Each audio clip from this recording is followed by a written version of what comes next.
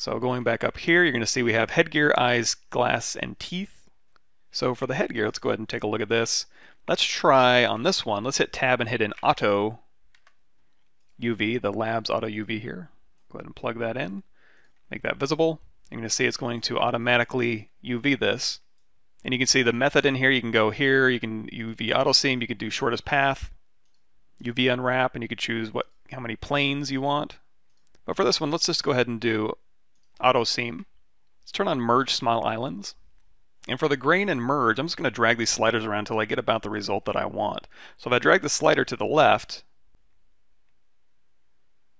you're going to see those, it's going to get more and more shells. If I drag it to the right, it's going to try and stick more and more of those assets together. So I'm going to look for a happy medium between this, grain tolerance, and also the merge threshold. So if I drag this one to the left, it's not going to merge too much. If I drag it way to the right, it's going to try and merge a lot.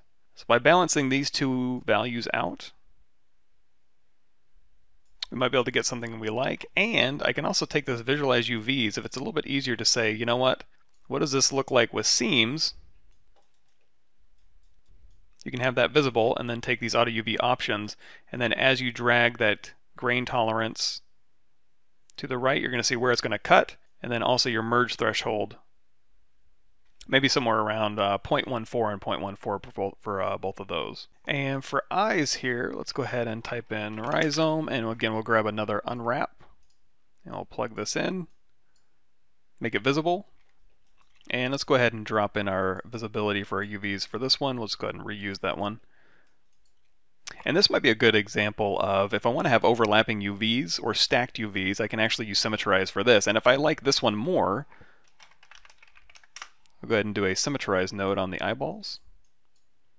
And again, we'll type in 0 for y, and then we'll do positive 1 for x.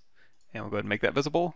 And now you're going to see both of the eyeballs have the seam along the back, and they're going to be stacked and overlap. So if I paint one eyeball, the other eyeball will follow. Of course, if you want to have different colors for both eyes, uh, you wouldn't want them stacked. But in our case, if we're going to paint one side, we can go ahead and have it update on the other side. Save a little bit of UV space there. Now for the glass, Let's do another auto UV. And we'll go ahead and zoom in and see the result we're getting. And again, we'll just turn on Merge Small Islands. And this time we'll just drop our merge threshold down just a bit. There you go, that'll work. And then finally teeth. Let's hit tab, type in Rizom, go over here to unwrap. Let's go ahead and select that node and make it visible. And this one, we'll go in here to advanced and again, we'll just turn on stretch control. That'll give us a little bit of a better layout. So there we have our UVs done for each of our individual objects.